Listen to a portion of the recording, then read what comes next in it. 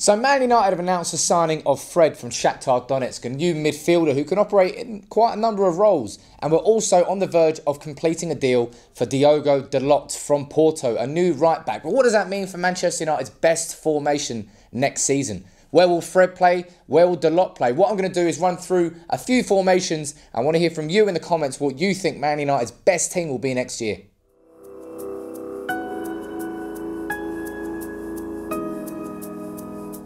Now, a formation that Man United used a lot last season was a 4 2 3 1. You saw Matic playing alongside Pogba. You had Sanchez on the left up front. You had Lukaku there. You had Mata operating in the number 10 quite often. And Lingard on the right.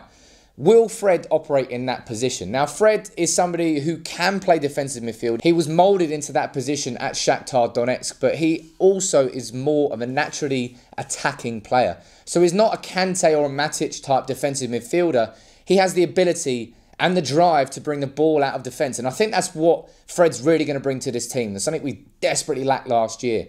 Anytime we have possession in our own half, in front of our own defence, we found it very hard to break away at pace or at least have the tempo to play it through the lines. Someone like Fred will really, really help with that. He's very, very naturally talented with the ball at his feet and he's happy to bring the ball out of defence. I think that is something he will really do. Will he do that in this sort of formation, though? If you look at a 4 2 3 1, you got him alongside Matic there with Pogba just in front. I'm not sure whether that would restrict Fred too much and probably wouldn't get the best out of him. But Diogo Dalot, obviously, he's going to play right back. And there's something I'm really, really excited about. In my limited time of watching him on YouTube and seeing how he plays, the kid can take the ball past a player. And I know it sounds stupid to be excited about that, about a right back, but we've seen Antonio Valencia for the last few years. And he just stops when he runs into someone, turns, passes it backwards. Dalot has the ability to skip past players and he can cross a ball. And again, that's another area where Antonio Valencia has been weak in the last couple of years. Any good cross from Valencia has basically been a drilled cross. He closes his eyes, he hoofs it, somebody sometimes gets on the end of it. But Dalot has the ability to curl a ball in, to see a player, and to find him.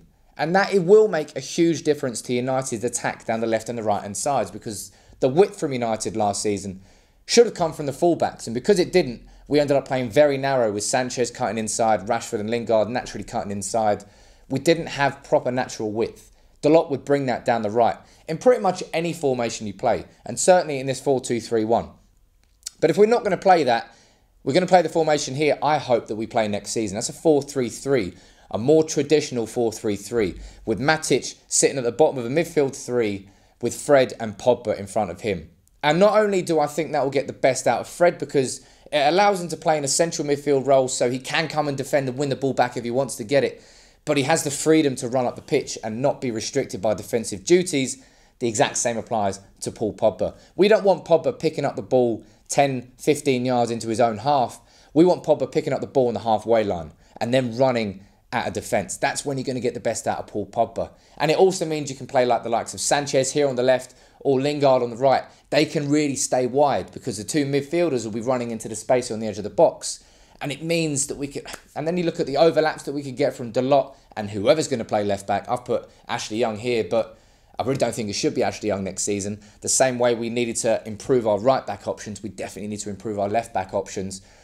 For me, the 4 3 3 looks like it makes most sense with this team now. Matic operating as the pure defensive midfielder that he is, not tasking him with running the ball forward, doing anything. Just screen the defence, sit in front of that back four or five or whatever formation United are playing and protect them. That's what Matic did extremely well at the start of last season, his debut campaign. That's what I want him to do next year. And signing Fred and playing him alongside Pogba just in front in a midfield three, I think could get the best out of Matic, the best out of Fred whatever that may be, and the best out of Pogba, certainly. We need to free Pogba up. It's always been a big problem we had last year.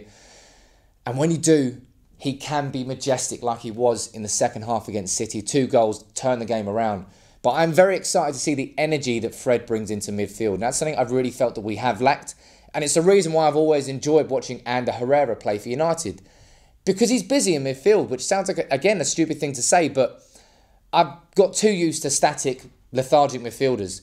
Pogba is one of those. Matic is one of those when he's in a defensive type role. In terms of winning the ball back, out of possession, we need to be better off the ball. And someone like Fred will really bring that to our midfield.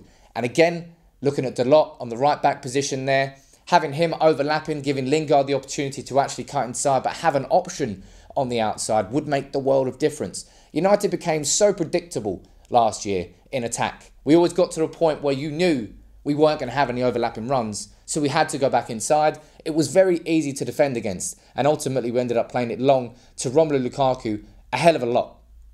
Bringing someone like Dalot in, maybe playing him in certain games instead of Valencia, gives us the overlapping option. Bringing Fred in gives us the, that option in midfield as well that we're going to have drives from deep onto the edge of the box, the late surges and runs into the box.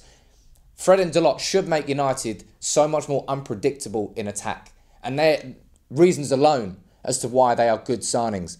Alternatively, United could play a 5 3 2. I don't really think it plays to the strengths of the squad, so I don't really want to see it, but Mourinho played it a few times last season. I remember CSKA Moscow away, he played it and it worked really, really well because it's very much built on counter attacking. Who those three centre backs would be, I don't know. Lindelof and Bailly are two of them. I'm putting Jones in as well.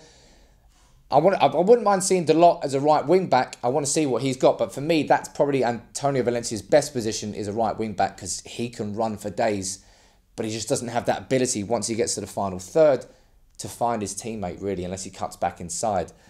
For me, I don't really want to see this. You know, you could play Matic and probably Fred in the middle, maybe Pogba in a more number ten position with Sanchez and Lukaku up front. But for me, that doesn't get the most out of our team. And on paper right now, United's best looking formation certainly is 4 3 3.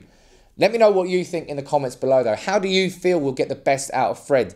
A dynamic midfielder who can play defensive midfield, but is more of a central midfielder, has the ability, natural ability, to run the ball forward.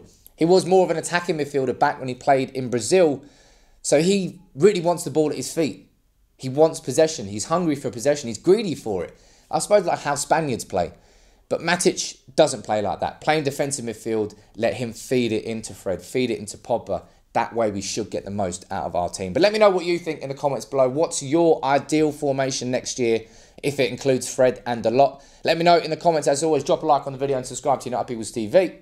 Take it easy.